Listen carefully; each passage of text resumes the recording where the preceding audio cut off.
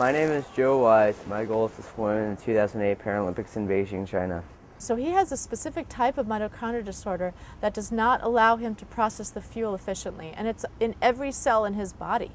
But the cells that are mostly affected are the muscle cells because they use this fuel so quickly and rapidly and they need to turn over. I realized I had a disability uh, around nine and a half. I, like my handwriting started to get messier. Um, I couldn't run as fast. And then after I ran, my hips started hurting me. The diagnosis of mitochondrial myopathy, a rare form of muscular dystrophy, came in March of 2003 after 10 months of doctors and tests. Joe was in the fourth grade. You look at him and you just you just don't think it's it's possible, and then um, then you always start thinking the worst.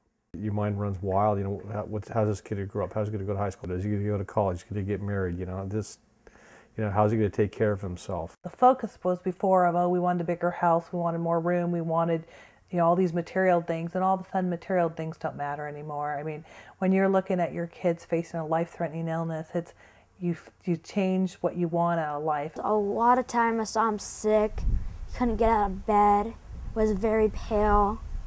He dropped out of all his favorite sports. Mitochondrial myopathy is a muscular dystrophy disease, which is muscle destructive, but in his case is muscle weakening. So what came to expect is that he would have weakness in his legs and his extremities and also in his chest cavity, which affect his breathing, which would obviously affect his coordination and his stamina. I think it was really hard for him to accept that his life was changing. And so he kind of dove into swimming and it was around the time that the 2004 Paralympics was going to happen in Athens. So we introduced him to some Paralympic swimmers and got him excited to see that there was a way for him to achieve dreams. Ever since I found out the Paralympics, I started to like it more because I realized there's a point of why my mom was making me swim. And so now I've come to love it, so it's become more serious swimming. Joe, in the last two years, has come an enormous way. It's, it's been amazing. When he first came in, I wasn't even sure if he was going to be able to be in the group, just based on his speed, based on his skill levels, based on his, how much work he could do. But Joe's not putting any limitations on himself because of his disability. He's gone from being in the bottom third of the group to being very, very close to the top four or five swimmers in the group. Joe swims evening practices six days a week. He adds 5:30 a.m. practices twice a week during the school year. Summer workouts are twice a day. Joe won a National Paralympics event for the first time in the summer of 2006. He contracted pneumonia that December, which kept him out of school and swim practice. He returned to partial days of school in a wheelchair after six weeks. Joe didn't let the setback stop him. He made the U.S. Para Pan American team in March of 2007 it was shocking because I mean you don't think of a 13 year old making an international team. It just doesn't seem a normal thing. I had always wanted him to have an opportunity to do international stuff, but there's no way you ever would expect it to happen this fast. Joe's success in the pool doesn't come from practice alone. A team of doctors are involved in his care. They include an allergy and immunologist, a neurologist, a geneticist, and a pulmonologist.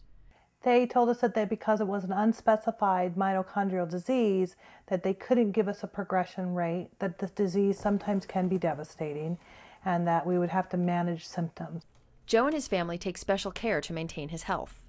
Once a day, he uses a machine called a vest that removes fluid from his lungs.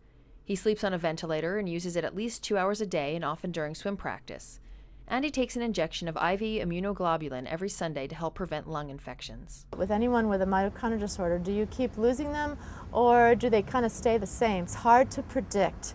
He doesn't really know perfectly what the future might entail, but he's working really hard now to make sure that he's in as much control of it as possible. Swimming is what keeps him going. It's what's driving him. He has a lot of good friends on the swim team. And I think if he didn't have a goal, it would be harder to fight this disease. After practice, surprisingly, I usually feel better. If I go there tired or having trouble breathing, I usually come out breathing well and not so tired anymore. You know, with how well he does, you know, physically in the pool, you know, it almost puts you in a denial state. But also a lot of hope that, uh, you know, by him taking care of himself, that, you know, he's going to have a, a really pretty normal life. I think for anyone that wants to go forward with this type of disorder, Joe shows them that they can do it. I believe that life is precious. You might have like a little bump in the road. You're gonna have to get over it. You might get a flat tire, but there's another one you can change onto it. So you just got to keep going through it, even if you have a incurable disease. Joe's time in the 400 freestyle qualified him for the 2008 U.S. Paralympic team. He will compete in Beijing